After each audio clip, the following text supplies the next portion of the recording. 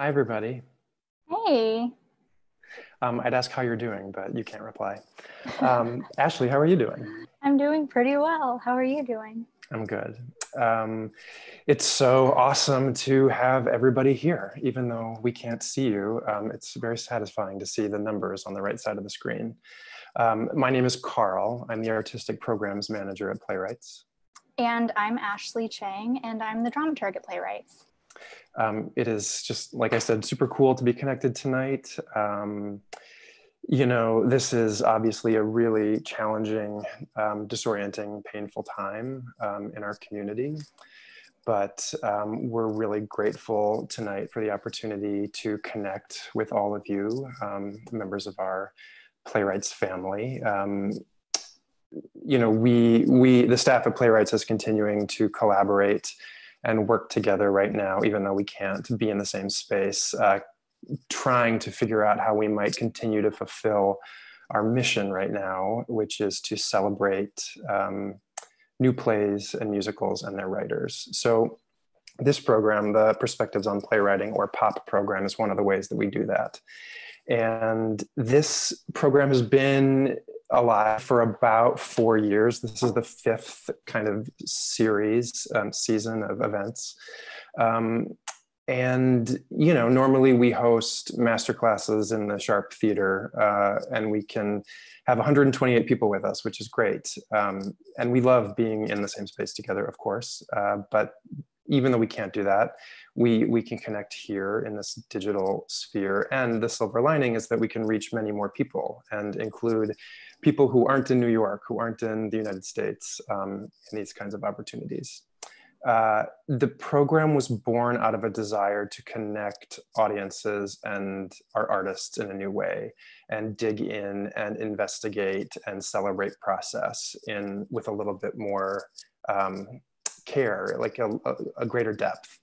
And the hope is that as we continue to produce new work that behaves in all sorts of different kinds of strange ways that we are offering it up with great generosity and making sure that we're including our audience um, with love and that we're providing you the tools to engage with the work um, thoughtfully and carefully.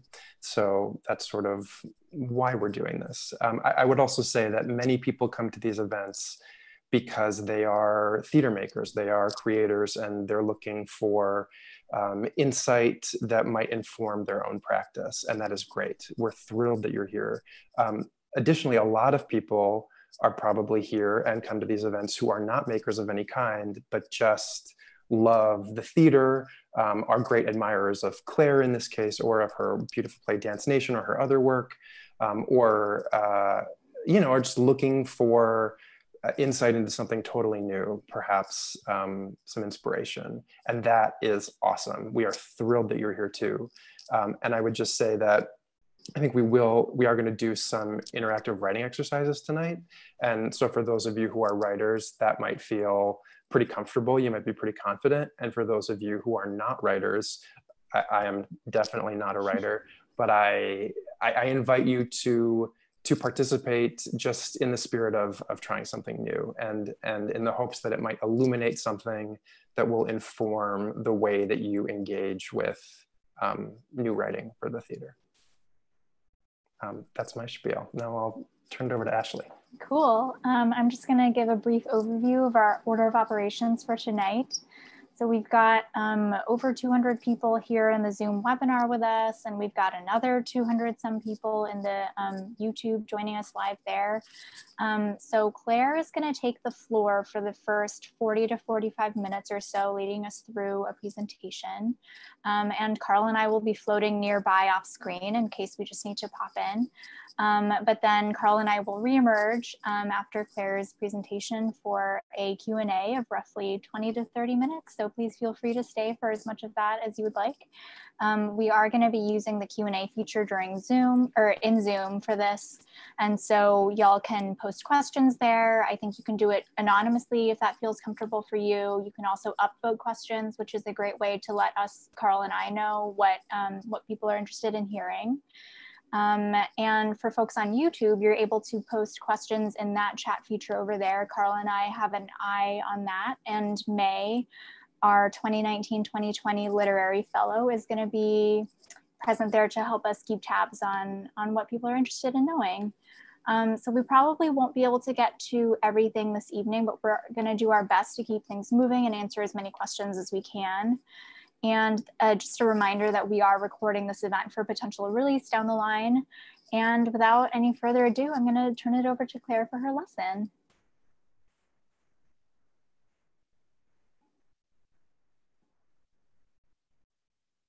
You guys, I'm coming. She's coming. I can feel it. There you are. Hi, everyone. Hi. Okay, I'll disappear. Have fun. Hi, Carl. I'll, Bye, I'll Ashley. Be just to the side. Bye. Bye, guys. Hi, everyone. I'm Clare. Um, I'm in Bed-Stuy in Brooklyn. I just wanted to start by saying, like, I send you guys all love. I hope you're in good health. I hope your loved ones are in good health. Um, I feel like we're probably all coming to this from different days, different time zones. I feel like I've had kind of an intense day. So I just invite you to like stretch it out, relax. I'm drinking Mezcal. I also have seltzer. You should get a beverage of your choice, a tea, a drink, a, anything that makes you feel comfortable. Um, I hope we'll just get to spend a nice little amount of time together. Um, as Carl mentioned, we're going to be doing some very, very gentle writing tonight. And I just invite you, like my first teacher um, is an, was an uh, incredible performer and playwright named Deb Margolin. And um, I met Deb when I was an actor. So I pursued acting before I um, pursued playwriting. And Deb believed that every person could be a writer. And she really empowered us all. She was working with a group of actors and she empowered us all to like trust in our voice and um, find our own particular weird little way of like tapping into desire and like what we want to write. So um, I just wanted to sort of start tonight by shouting out Deb Margolin. If you guys are looking for like quarantine reading, I think her work is extraordinary. She has a book called Of All the Nerve. That's Of All the Nerve with um, some of her plays in it. Um, and it's she's definitely worth um, spending a lot of time with. I return to her again and again. And with invoking Deb in mind, I just, tonight we're all writers. We're all going to be doing this together. Um, I, uh, I, I wanted to say a couple things. First of all, I just wanted to share that like I've been having a really hard time being productive during quarantine. Like I, I've had weeks where I have not written a single word. I swear to God, a day that I achieved like 45 minutes of creative writing to me is like become like a huge triumph. Um, I really applaud if you if you're have if you're feeling like really productive, like oh my god, I'm getting so much done. Um, like go with it. That's awesome. For whatever reason, I've felt like very very um, stuck. So I just wanted to share that with you tonight and be like, this is going to be just a t- tiny tiny half hour where we can all be a little bit productive together, a little bit creative together. If there's one thing I've learned, it's like when you're feeling stuck, when you're feeling um, tired, don't try to work an eight hour day. Try to work for 45 minutes. Like, don't try to bite off a huge bite. Just be like, okay, I can do anything for 90 minutes. I'm going to sit down and all I'm going to do is do my work, be creative, try something for 90 minutes, and that's it. So today we're just going to take a little tiny, tiny, tiny, tiny, tiny step, gentle step towards being um, creative. The other thing I wanted to say is, um, in my experience as a writer, all of my best writing that I've ever written, I've written when I felt good. I've it's I've never been one of these like depressed kind of writers. So like if you take a, a play of mine um, that I've written, my least favorite part of that play is the part that I rewrote 40 times. Like there's a part of there's a part of Dance Nation. I swear to God, I wrote that fucking scene. If you go into my drafts file, you'll see like 40 documents of like scene 14, like over and over and over and over and over and over and over and over again. And I fucking hate it. And like that's the part of the play that anytime it comes up in the theater, I'm like, all right, that's like not so great. But the parts of the play that I love are like the parts of the play that I wrote literally in one take literally when I was like enjoying it and feeling good. And so for me as a writer, I try not to think about writing as torture. I try to think about writing as something that feels good, makes me feel good. And I try to um, tackle that by writing in little tiny chunks and not punishing myself but like accepting what i can do and also then like letting the inspiration catch me when it catches me if i'm in the shower if um, i'm on the subway i um and that's also why i do this crazy stuff. I said in the directions i hope you all got about like the paper and the pens. The reason i do that is for me they're just little ways to like break myself out of my head and try to make the writing process more fun. So I literally like write almost all my plays in Sharpie because it just feels kind of like ridiculous to write a play in permanent marker or write a monologue in permanent marker, but it just makes me feel good. Um, I always like, I'll show you, this is, I, I work on the floor because that's where I feel good. I don't know if you guys can kind of see my, that's my workstation. Um, and um, I'm always like using crazy paper, like I write in big things like this. Um, I write, um, I had this crazy paper that I got that I like, lot, that I just like unfurl and like lie out on the floor. I love weirdly like writing on um, envelopes. I don't know why, I just feels transgressive and good.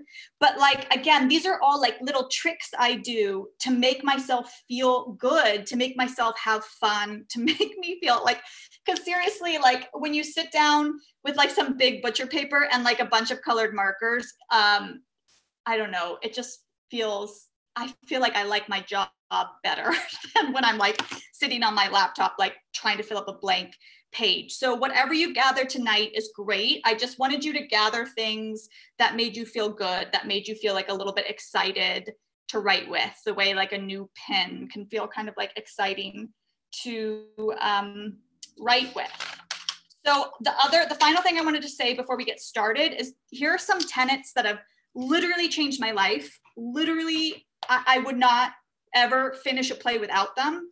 And they come from um, Mac Wellman.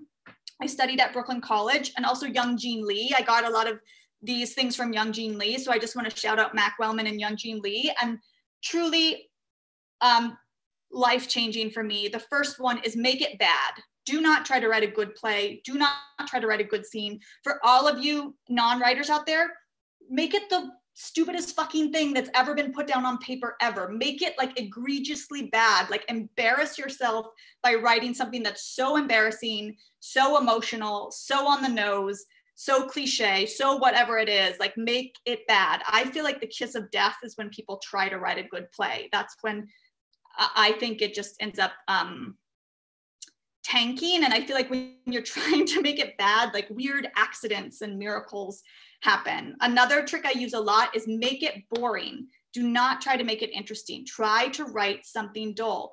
I was um, in the soho rep writer director lab when jenny schwartz and Ken Rus Schmoll were running it and their first exercise they gave us was to to write like a really boring scene like make it as boring as possible. And that became the first scene of my play um, called You Got Older. And like, I would have never written, if I had sat down and like, oh, I'm going to write like a new play today, I would have like tried to make it interesting, right? I would have tried to like do something cool with it. But something about them telling me make it boring, it actually like unlocked this father daughter relationship for me and like gave me a new play that I, I don't think I would have discovered without without that and so the other thing I wrote down is like make it stupid. That that's similar to like make it bad. Don't try to be smart. Try to be dumb. Always try to be dumb.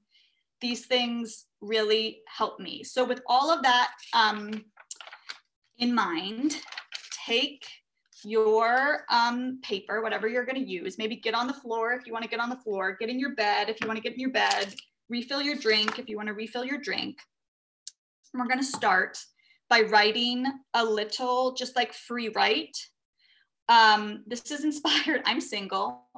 Um, I'm I've been spending a lot of quarantine well, uh, alone, um, and no one has been touching me. So this is like a little shout out I, to all the single people out there um, who really need to get fucked. But um, uh, we're gonna write we're going to write about what we want, what you want someone to do to your body. what you want someone to do to your body. And it doesn't have to be sexual. I said that thing about single people getting fucked because that's where my brain is and that's what I'm going to write about. But if you are living in a house full of kids, people are touching you all the time, what do you want someone or something to do to your body? Maybe it's not a person. Maybe you want water to do something to your body. Maybe you want to be in the shower. Maybe you want to be outside naked in the rain. But what do you want someone to do to your body. We're just going to write for about five minutes. And you can literally just like make a list. You can be like, you can write like bad sexts. You can like describe what it feels like to be in the shower describe what it feels like to have the wind like we've had this war this incredible like warm weather some days. And like i went for a run the other day in just a sports bra and just like felt the wind on my body. It felt so good. Or make it really dirty or make it really nasty. Like what do you want someone to do to your body? We're just going to write a little bit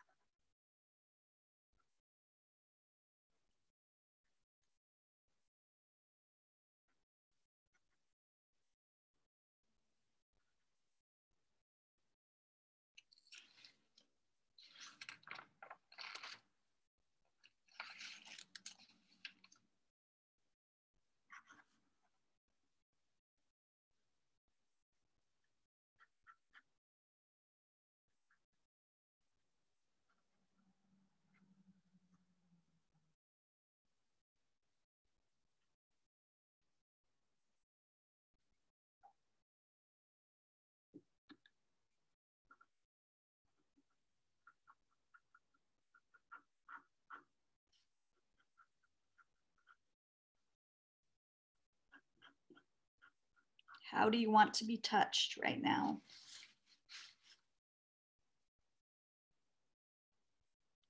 If you could be touched by anything, anyone.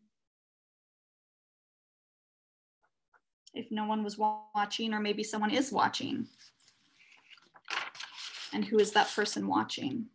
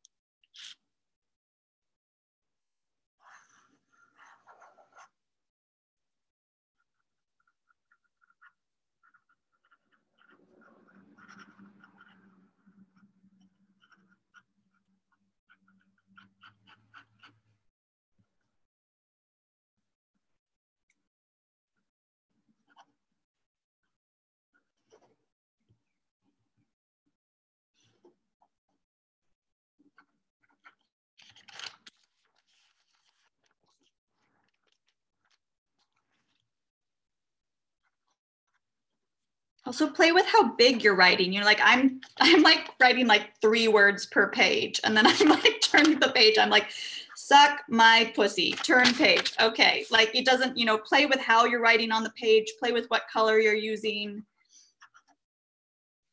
Maybe you want to write really small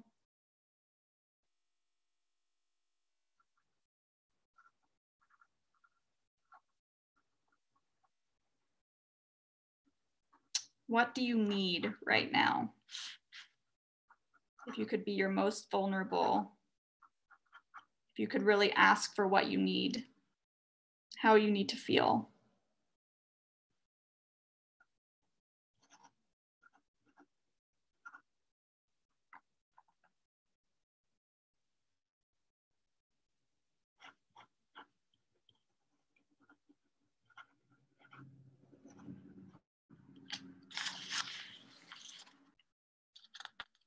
Something weird or unexpected comes up, that's good. Don't try to plan it. Just sort of like see what your body is asking for.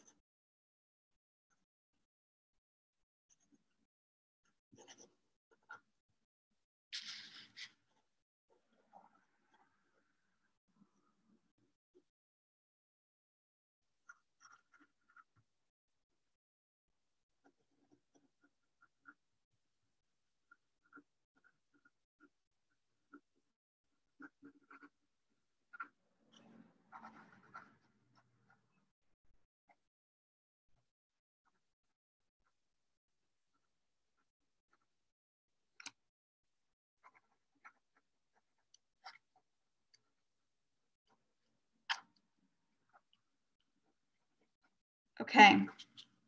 Find your way to a stopping point.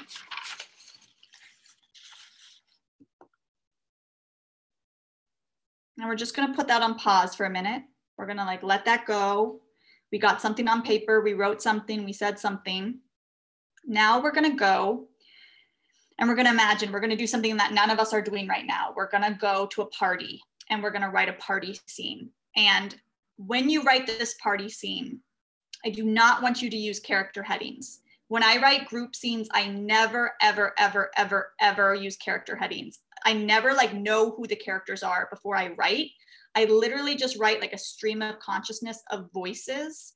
And then after I've written it, I go back and I see who's talking.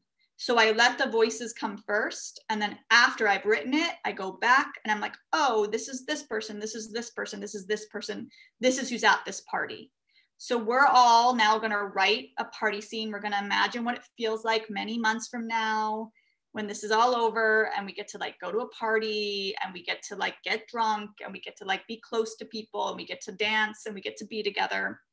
And I'm going to just give you some visual inspiration for what this party looks like. Um, so Dylan, whenever you're ready, you can show the first image. Um, okay, this is the party we're going to. This is by an artist named Jayne County. And this is the party we're all going to together. I want you to start writing this party scene, voices talking at a party like you're hearing them. And I want you to make it as boring as possible. The most boring party that you have ever been to, whatever that means to you. Go for it.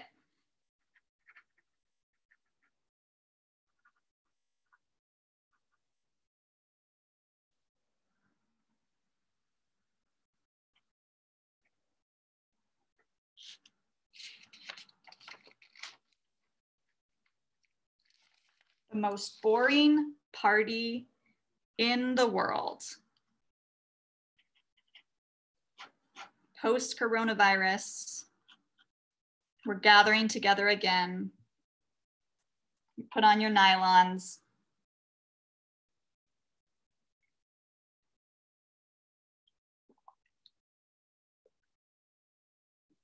What are people saying to each other? What do they want to talk about?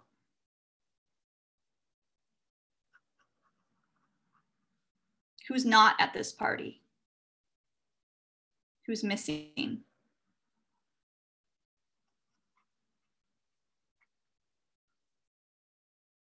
What are people not talking about?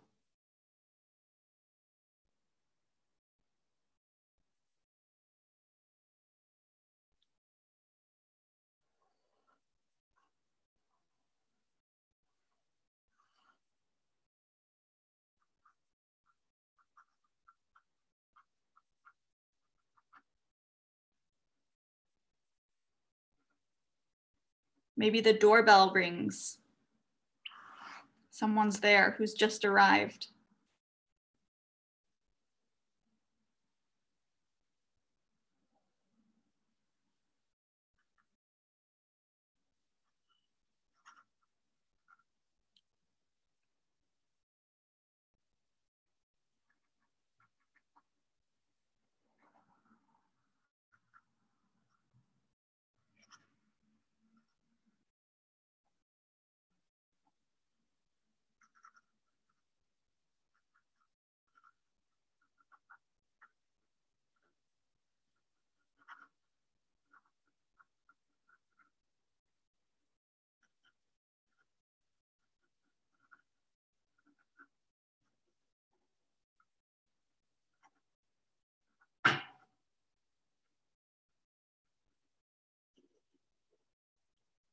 What's the food at the party?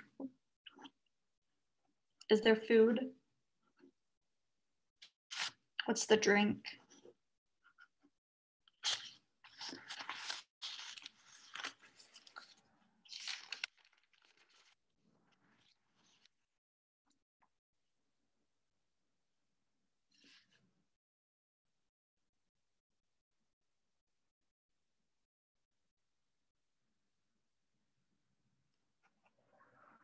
What's the music? Who's attracted to who? Who's hitting on who? Who can't stand the other person?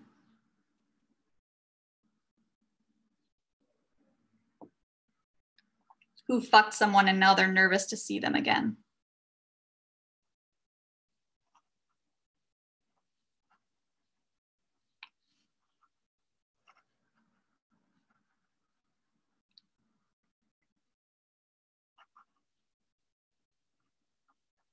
And if, the, if you're stuck, you can literally just write what's up. What's up? How are you? How has your last six months been? How's it going? Good to see you. Oh my gosh, you look so cute. What's up?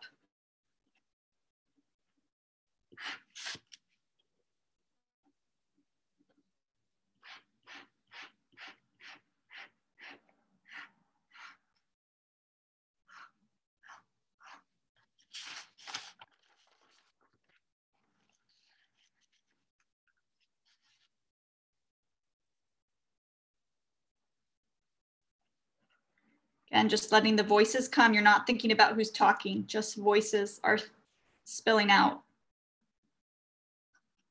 What's up? What's up? What's up?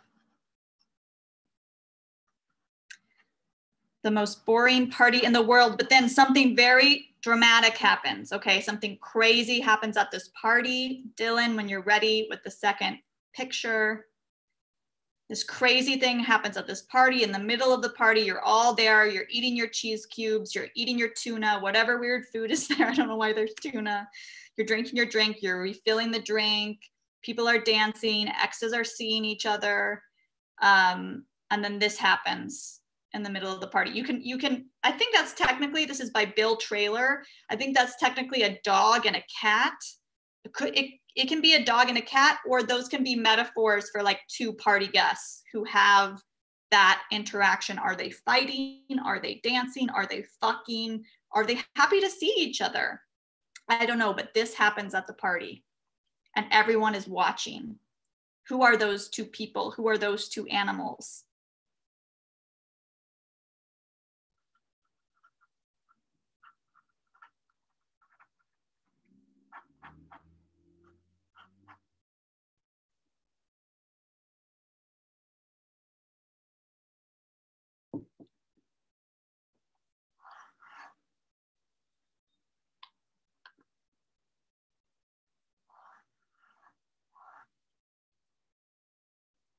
Are people ignoring them? Are people separating them? Are people joining them?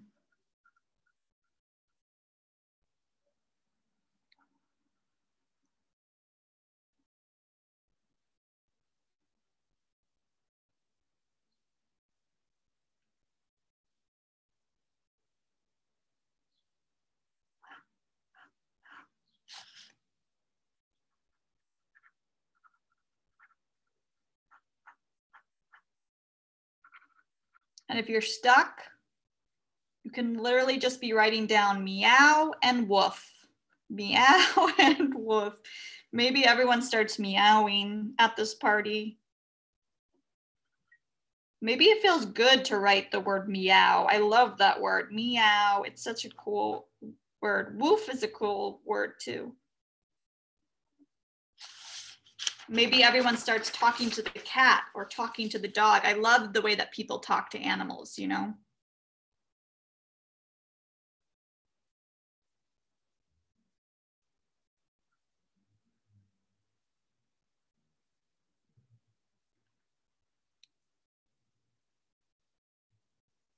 And then the doorbell rings and someone shows up at the door very, very late. They're very, very late to this party. And Dylan, whenever you're ready with the third slide, this is who shows up.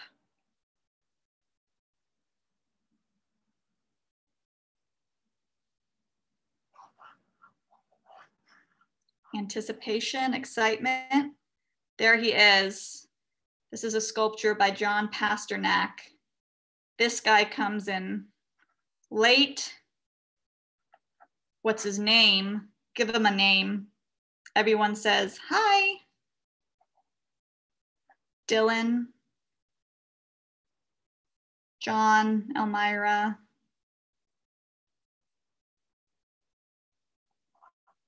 Why is he late? Where's he coming from?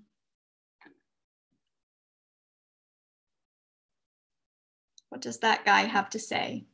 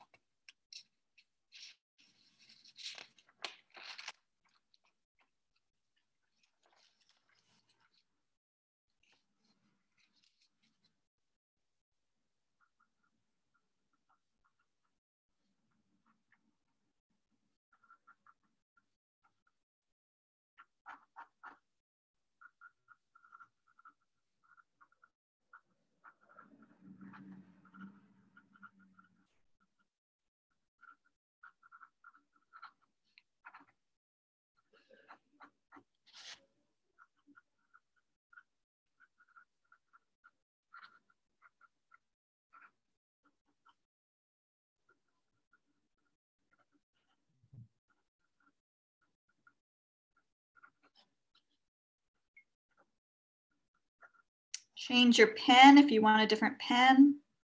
Change your paper if you want a different paper.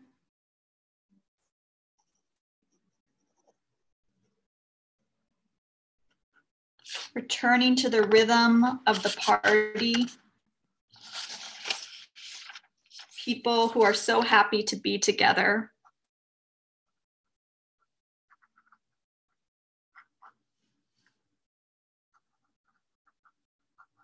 Have group conversation.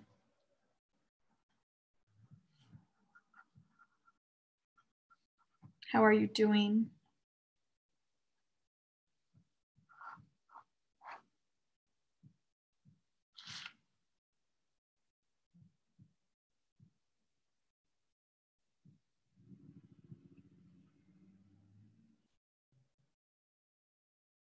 Now I want you to pick one voice, let it emerge. And I want you, I want that one person to go up to another person. And I want that person to tell that person how they want to be touched. And I want you to remember what you wrote at the beginning of the exercise, how you want to be touched. Don't look at it, don't turn the pages back, don't go back. From your memory, what how does this person want to be touched? And have them say it to another person. This is what i want.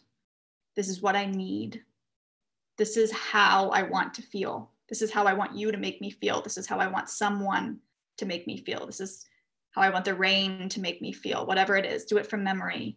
How they want to be touched. One person telling another person ending a monologue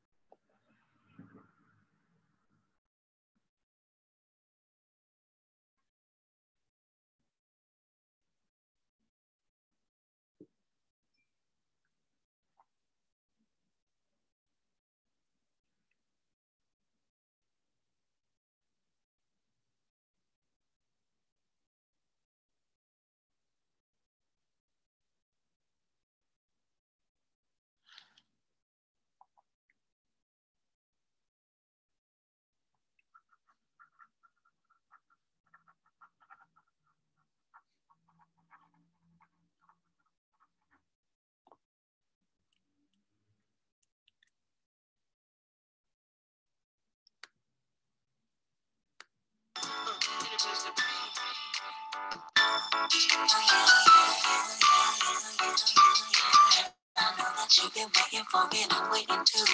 In my imagination, I be all up for you. I know you got that fever for me, 102. And I know I better see my temperature through the roof. If it's a camera up in here, then it's only you put me when I do, I do. If it's a camera up in here, then I best like I just look on YouTube, YouTube. And allow yourself to enjoy, just enjoy. I will hunt you down. Interview.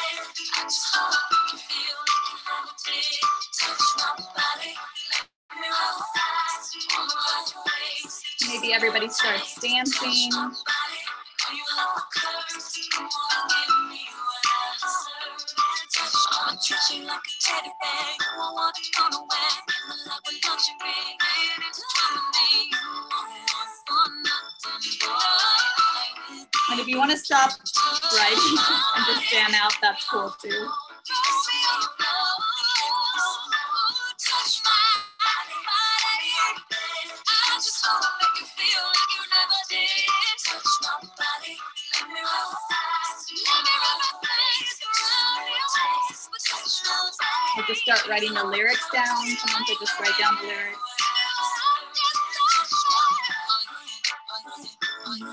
Okay.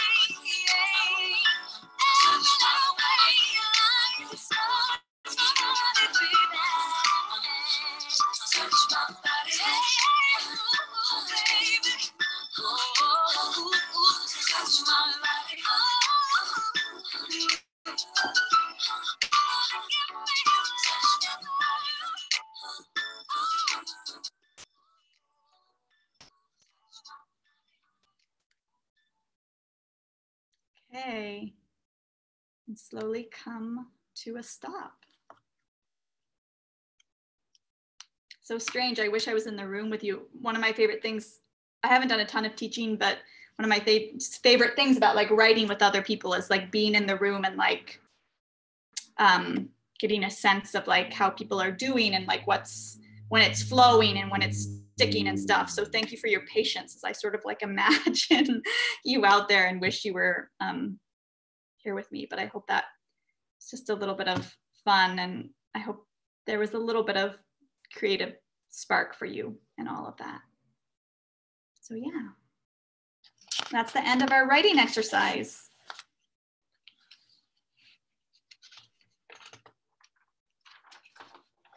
Say goodbye to that little guy. Hi, Carl. Hi, I came back, but if you want more time, I can disappear. No, no, no, I'm good. I'm good. Awesome. Thank you so much, Clare. That was so fun. That was Um. I named my little John Pasternak sculpture guy Mr. Ladybug. Oh, cute. Would cute. not have met him without your help, so thank you. Um, but now we want to shift into a Q&A uh, section, and I will just start us off with a question from our Zoom Q&A, which is, I remember once reading that you didn't really do much rewriting on your plays, which I love to hear. Is that still your approach? Could you talk more about your approach to revisions, rewriting, and when you know when your play is done? What a great question. Um, so Maria Striar, who runs Clubbed Thumb, taught me how to rewrite a play. I, I, my first play ever was at Clubbed Thumb with their Summer Works Festival, and I gave her the play, and I was like, I don't rewrite. so there, there it is. Like, see ya, see ya in May. And she was like, okay, let's talk, let's talk. And she taught me that rewriting actually could be like really creative. I remember one of the things we did in that play is I rearranged the order of the scenes and I printed all the pa- I basically printed the entire play out like 90 pages and then I laid it out in a room and I started like moving things around and I was like, "Oh my god, this is actually kind of fun and really creative." Um, and that unlocked rewriting for me. Like when rewriting is structural, I really, really enjoy it. When you get to sort of like structure, you know, it, it's something that I feel like a lot of people are afraid of with playwriting, but it's actually like to me the most fun part. It's like when you get the building blocks and you get to like move them around and be like, Erin Courtney talks about like all the different shapes of a play, like making a circle play or a, sh- a play that's shaped like a bow tie or all of like I remember when I was um, working on my play you got older the revision i did on that play was i had all of this material and all of these scenes and i realized that i had all of these scenes that were two handers for just two people and then i had this one huge group scene where the whole family congregated and i realized um, i was like oh my gosh actually what a satisfying structure if you go from all these like spare two-hander scenes to this like big party and then you go back to two-hander scenes. Like those two-hander scenes will feel so much more uh, lonely like after this big party. And so that's the kind of rewriting i love when it's super structural.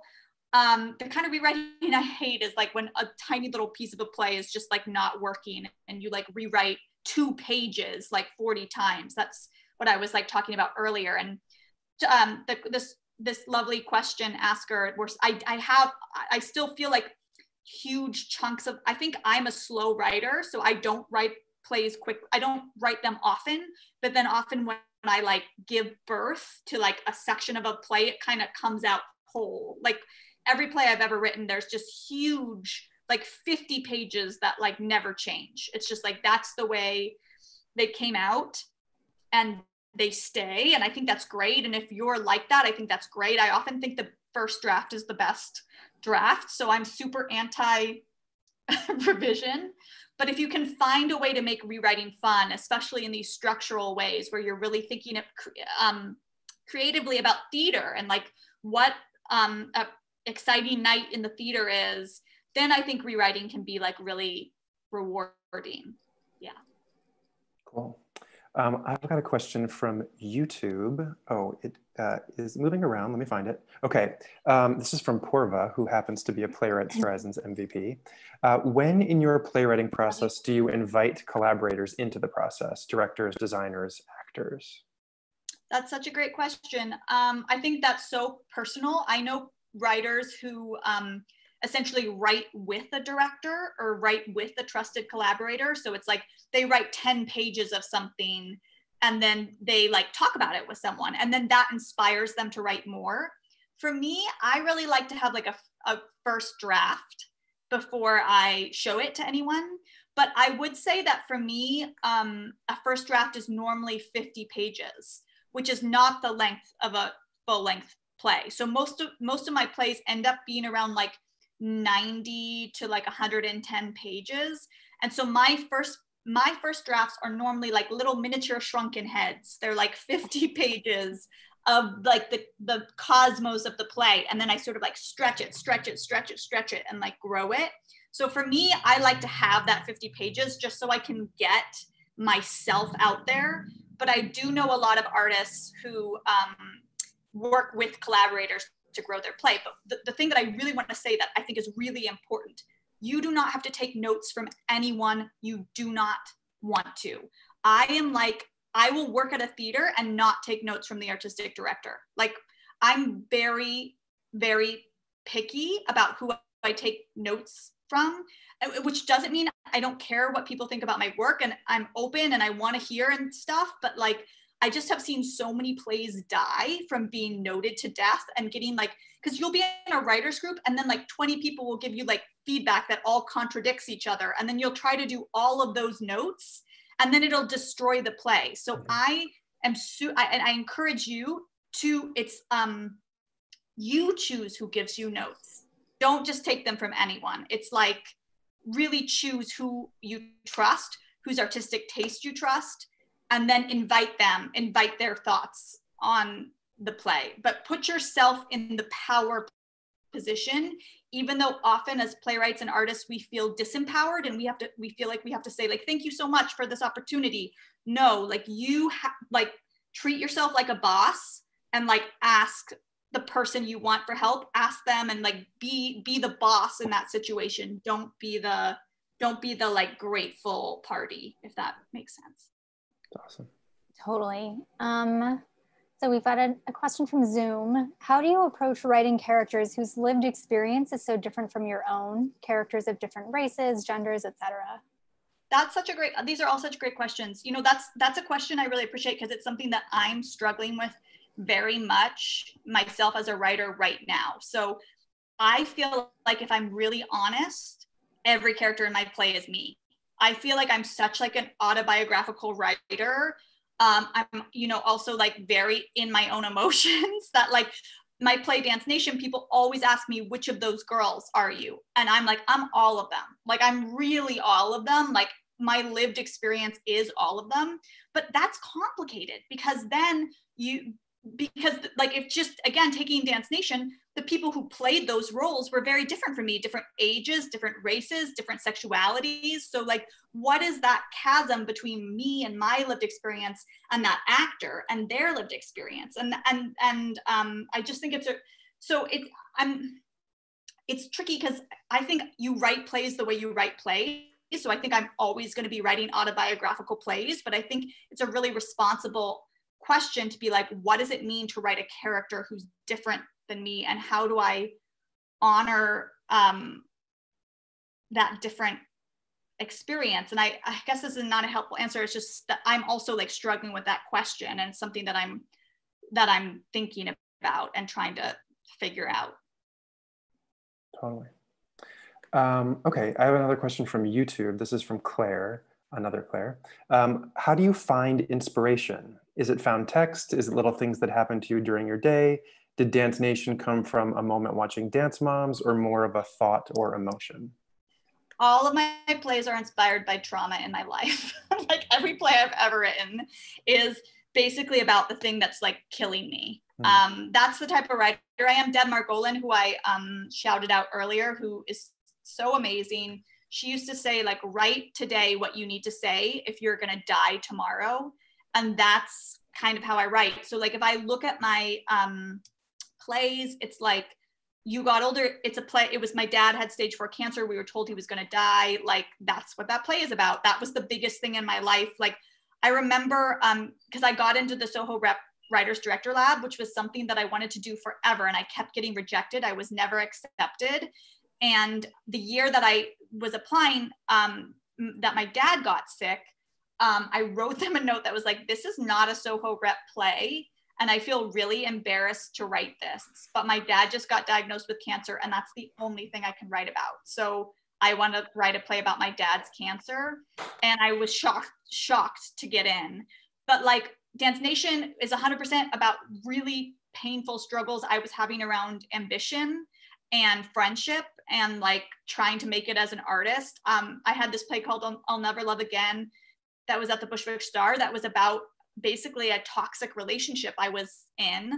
Um, and I have this uh, other plays of mine. I have a play about it came from being sexually assaulted and another play that came from being bipolar. So for me, the inspir it's not, I'm sure little thing, like I pull from my life all the time. Like anyone who knows me is like embarrassed to go see my plays because they're like, that's me, that's me, that's this conversation we had. Like all the time something happens to me and I run to my room and I like write the exact like I steal. I'm a big stealer. Like everything's me, everything's autobiographical. But the, the engine of all for me, the engine of all of these plays, it's always trauma. It's always like the things that have hurt me the most. That's what I write about for whatever, for better or worse.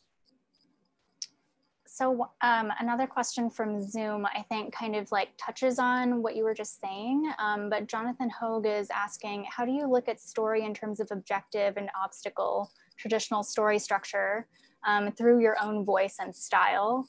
And when do you know that you have enough of an idea to start a play?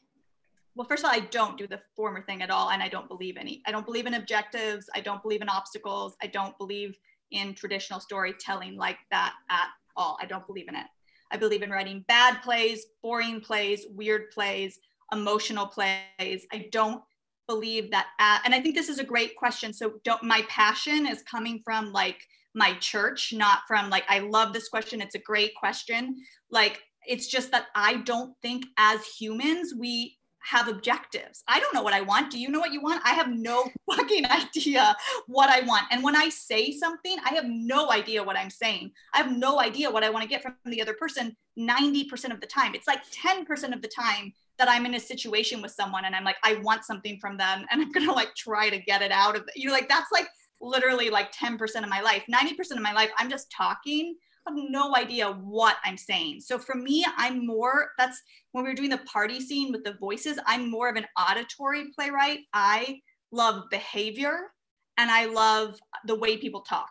So I love why did that person eat that, that, cookie that way? I have no idea. And if you ask her, she has no idea why she wrote eat, ate the cookie that way either. I like hearing conversations, and that's a big. You know, I'm from Brooklyn College, that's like a big Mac Wellman thing, going out into the world and eavesdropping. Mac always says that that's how you find your voice, like not with a laptop, but with a pen and paper. If you go out into the world, you eavesdrop on a conversation. Um, what you choose to write down, how you choose to edit, that is your voice. Like that's what you care about. That's what's important to you. You, if you take 10 playwrights and you have them listen to the same conversation, and write it down, they will all write down different things because they will all be attracted to different things. So I'm much more like externally motivated, like the way people talk, the way be- they behave. And I like the mystery. I like them not knowing. And I, you know, I don't work with plot either. That's like, um, with a play like Dance Nation, I was like, okay, obviously they're going to a competition. So that's the plot. The plot is they go to a competition, like, okay, done. The plot's done. Like, like moving on. But that's also why some people don't like my plays, and that's also why my plays are not for everyone. And also that's maybe why my plays aren't super commercial. And there there will be like a ceiling on um, what I can accomplish in my life because it's not for everyone. It's not. And I I when I watch um when I watch a piece of work that has amazing objectives and obstacles and plot and story, I fucking love it. Like I love watching that stuff. So it's not that I don't enjoy it or appreciate it. Um, it's just not what I, it's just not how I make work. And there was a second part of the question, but I forgot it. And I. Um, oh, how do you how do you know when you have enough of an idea to start a play? I think for me, it's just knowing that I'm tapping into something like I, I was just talking about that's really painful for me. So if, if i'm going to write about my dad i know i could write i could write five plays about my dad you know what i mean? So for me it's it's knowing it's like a starter for bread as we're all making our sourdough bread in quarantine. Like i just need i need a starter. So once i have a starter like bipolar i'm bipolar like that's something that i could literally write about for 10 years. Like it's i just need something for me my work is so personal i just need to know that i have that personal engine that um that there's some i believe in writing plays that are risky for you to write. You should be afraid to write the play that you want to write. It should make you uncomfortable. It should make you feel like maybe i shouldn't be writing this. That's that's how i feel. And i once i get that feeling of like i'm scared to put this down on paper that's when i know that i have an idea that's going to keep going. That's really exciting um, okay, questions from YouTube, uh, sort of a two-parter. The first part is from Rin.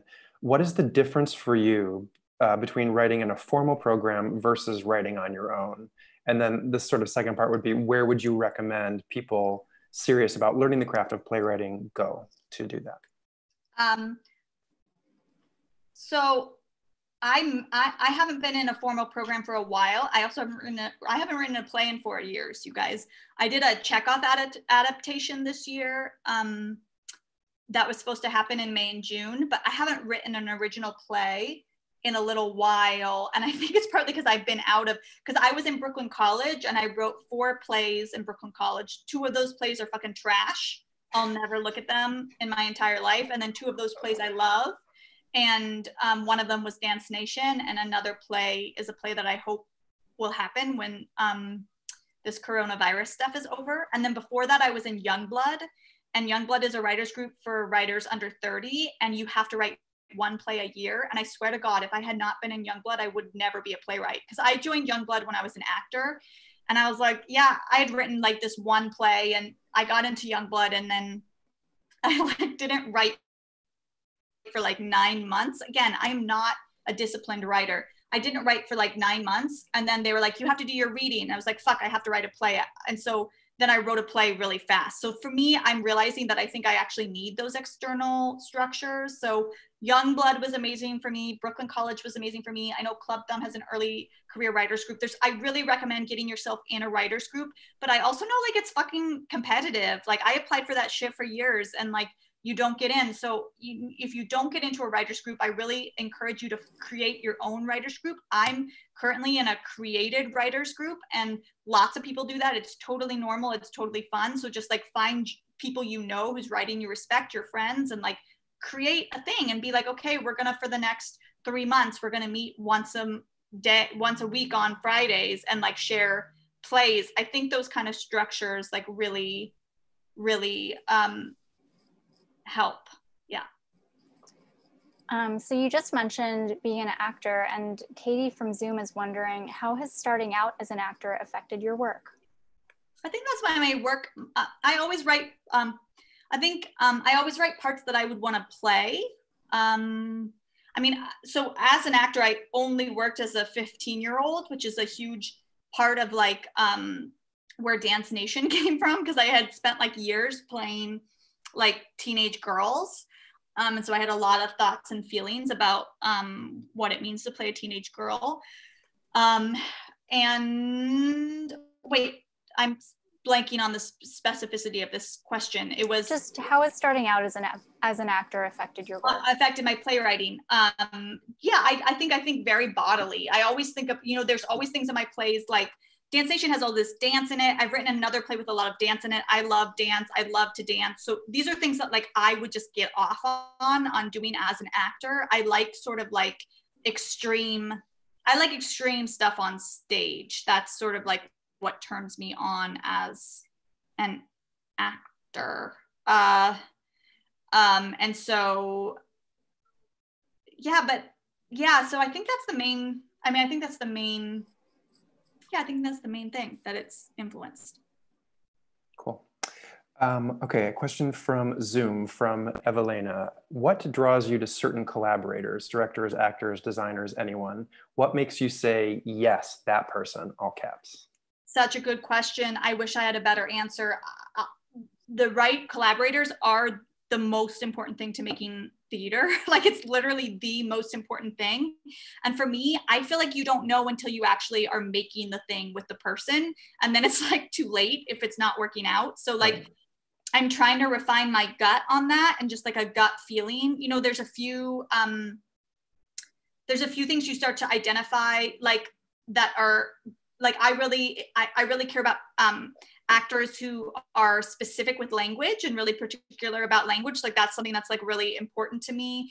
I really like directors who have like a really strong visual sense because like that's not my strong suit. And so i like to work with people who like have strengths that i don't have. And so like you start to kind of like figure out those aren't like general things that can apply to everyone but you start to kind of like figure out like what your priorities are. I like weird actors. Like i like um I like, I don't know how to say, I, am also, I mean, I, I, mean that as a compliment. Like I, I, weird is like the highest compliment I can give. Like I, I like weirdos and I like actors who um, feel ancient, like they, whatever age they are, they feel sort of like um, pagan and ancient. Like those are just qualities I like. So I think it's more about you for yourself starting to like learn what works for your play and like what's exciting for your particular play. I need directors. For me, I need a director who's really comfortable with a strong playwright because I'm extremely vocal in the room and I have a lot of opinions about design.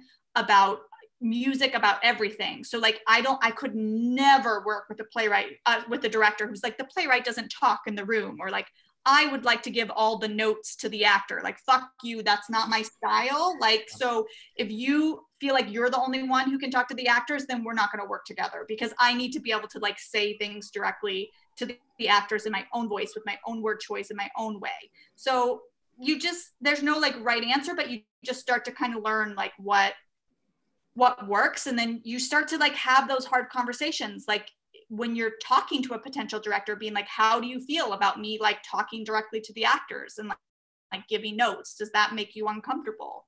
But the big you know thing for all of this is just like communication. Like that's the biggest thing is just being getting to know who you are as an artist and then being able to communicate that to your collaborator and being able to like n- not be afraid of conflict and be like how do you feel about this? Are you down to like do it this way and um yeah yeah but it's definitely a skill that grows i feel like the more you work Cool. Um, I'm going to combine a question from Zoom and YouTube. Someone was wondering, so, or noting that it's so interesting that you write plays about trauma, um, but have to feel good to write them. So, how do you make yourself feel good enough to write?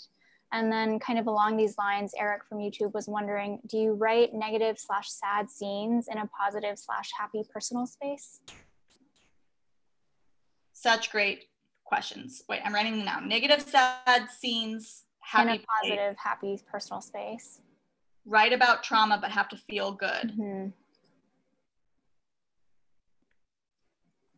so i think um i think first of all when i say i feel good when i write i don't mean that i'm like ha ha ha i'm so happy. Like i feel like happy. I mean i feel good the way you feel good when you're getting fucked the way you deserve to get fucked. Like do you know what i mean? Like it feels like when when someone fucks me really good i cry. Like and that's my ideal type of writing. Like my the when I the the best writing I do, I am crying. I'm crying. The best writing I do, I'm crying. And it's that similar thing as I don't feel happy. So good is maybe like a bad word. Catharsis is maybe like a better word. It's like an emotional release where like my body is like releasing something that needs to be released and it feels therapeutic. So um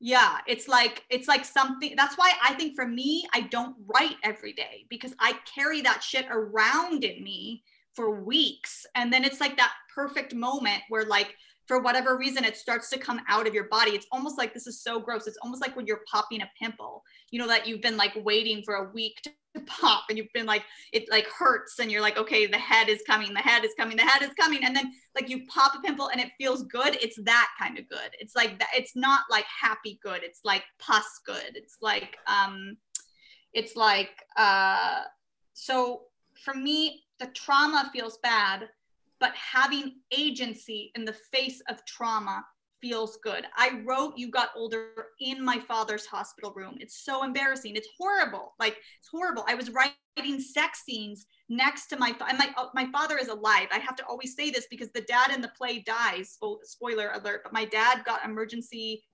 um not emergency experimental cancer treatment and survived. But when I was in his hospital room and it was um not looking good, I was like writing sex scenes like in his hospital room and like that experience as perverse as it sounds be, be, because it is perverse it gave me like relief to like write. Like i felt better in that moment writing next to him. It gave me a release. So that's what i mean when i say it like feels good. It feels like something that needs to come out is like um coming out. And so i that's i guess in some ways it's the same answer for the like negative sad scenes from a happy place. It's not it's not that i'm in a happy place. It's that something about writing those really dark scenes.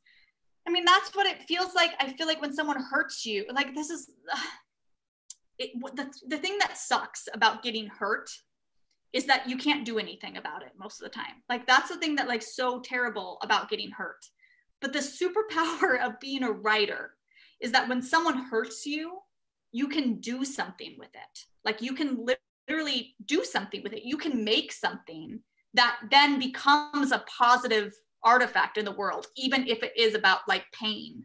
So like that's that's where that kind of lives for me is like um using writing to do something with pain that I'm feeling that ends up making me feel better about being alive. And then also like for me i'm a i feel like my plays are funny and like humor is really important to me. So like being able to bring humor into traumatic situations feels um empowering to to me to me personally. And this is everything i'm saying tonight is like so personal and just my coping mechanisms. And you might be hearing it and being like that's not me at all. I don't like that at all. I disagree. And that's great I think I think like one of the biggest things about being a playwright is like finding your own way to do it. So I really empower you all to like find your own thing, your own way.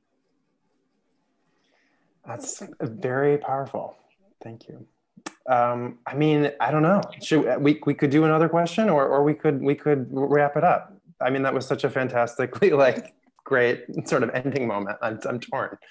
Um, Maybe one more question along the line of endings. Um, somebody's wondering, Alyssa from YouTube is wondering, where slash how slash when do you find the endings of your plays? Good one. That's such a great question too. And I want to, I want, so I was, I keep talking about the Soho Rep Writer Director Lab, but it was just like such a formative experience in my life. And that was largely because of Jenny Schwartz and Ken Rus Schmoll who, who ran it when I was in it.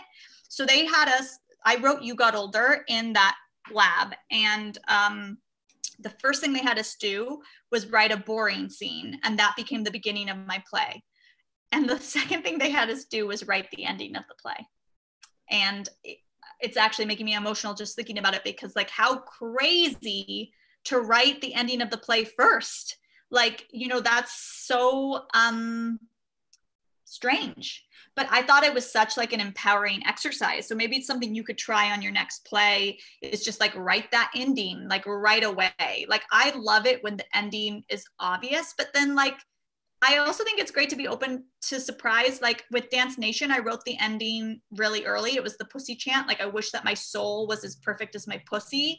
And that was the ending of the play for a long time. And then I realized, like, fuck, I need Amina to come back and say that she's going to fucking destroy everyone and win. Like the play can't end on like pussy power. The play needs to end on like I'm going to fucking be the best. Sorry. like you know what I, am I'm, I'm like describing it badly. I hope it's better than that. But like um but like I, that was a weird thing where like I wrote the ending of the play and then like years later I was like, "Oh no, that's not the end. This is the end." And I and I changed it. Um but I love, for me, I love gestural endings. Like um, my play I'll Never Love Again was all about this like 15 year old relationship, and it was performed. It was it was a play that I wrote um, before Dance Nation, sort of like in tangent with it and um, it was people of all ages um, singing the story of my first relationship when I was 15. And so you're spending all this time with people of all ages, and then at the very end of the play, an actual 13 year old girl walked out on stage. And so like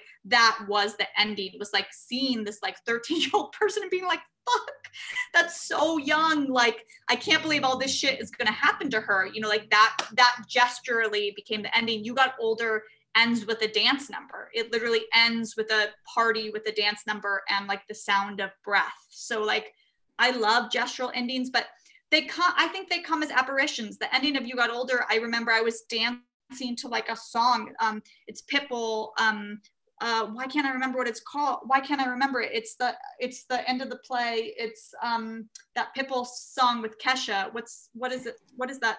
Song? Oh, I'll, I'll do some research. uh, Timber, Timber. I was listening to Timber and I was crying about my dad dying. And I was like, that's the end of the play. The end of the play is crying about my dad dying, dying while like listening to Timber, like that. So sometimes it like hits you like an apparition, like that. There's the end. Um, but the ending is so important and i think it's really fun to figure out and it can come at any time it can come right in the beginning or it can come right at the end um, and I encourage you to like play around with it. Yeah. Amazing. Thank you so much, Clare. Yeah, this has been really extraordinary. Thank you so much for being so generous. Thanks, everyone. I wish I could see you all, but I'm imagining you. Um, so just as, as we close here, before we um, we're throwing that slide up, but uh, we we do have two more of these digital masterclasses on the books right now. Uh, one a week from tonight on May 18th with Michael R. Jackson, who wrote A Strange Loop, and then on Monday, June 1st at 7 p.m. Eastern with Larissa FastHorse, whose play, the Thanksgiving play, we got to do at Playwrights a couple years ago. So um, phnyc.org slash perspectives to sign up for those uh, if you haven't already. Um, is there anything else? Um, And the only the only last thing is, um, if you're inclined at all to support Playwrights Horizons and the POP program, we'd be so grateful. You can visit phnyc.org slash donate or even just text POP-PH to 44321. It's on the slide.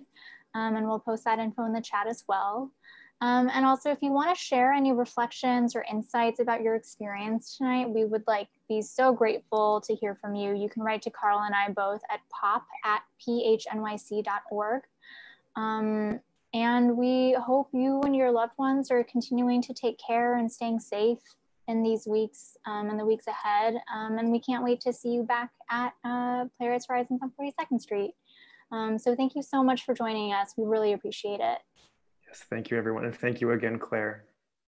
Thank you, guys. Such a pleasure. Be well, everyone. You too. Bye.